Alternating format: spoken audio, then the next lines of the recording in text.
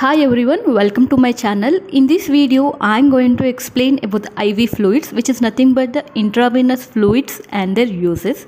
There are various types of intravenous fluids, but most commonly normal saline, DNS, dextrose normal saline, dextrose injections, as well as ringer lactate solution are most commonly used.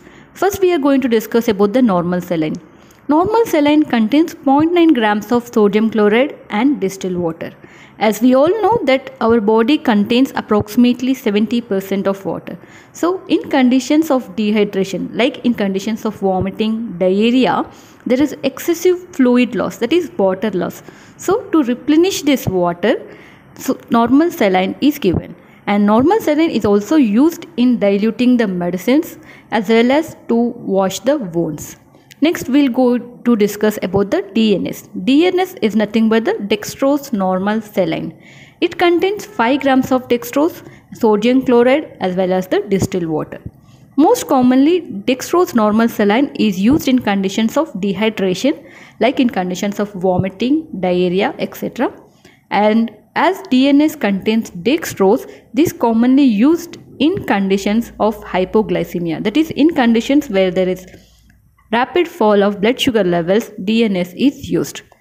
And the important thing to be noted is as dextrose normal saline contains dextrose which is nothing but the sugar so it should not be used in diabetic patients.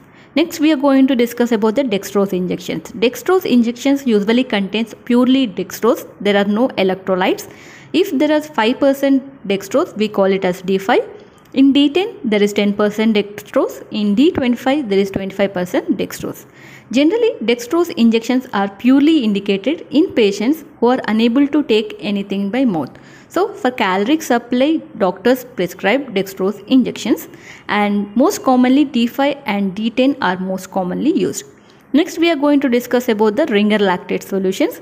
We also call it as Hartmann solution and it is most commonly used and this ringer lactate solution contains lactic acid, sodium hydroxide, sodium chloride, potassium chloride and water and this purely contains electrolytes so it's most commonly used and generally ringer lactate is used in conditions with acute blood loss, in conditions with burns, fire accidents and in conditions with hypotension where there is sudden loss, sudden fall in the blood pressure levels.